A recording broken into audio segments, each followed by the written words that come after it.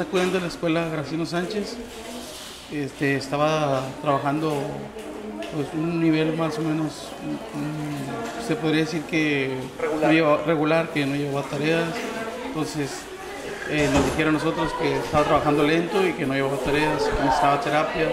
Entonces el sistema de IFA acudió a nuestro domicilio. El maestro nos dice a nosotros que su profesora nos dice que, ah, sí, está- se ha mejorado. Y cuando está con el director, que se llama Juan Moreno Medina, este, nos dice que no, que, que todavía le falta.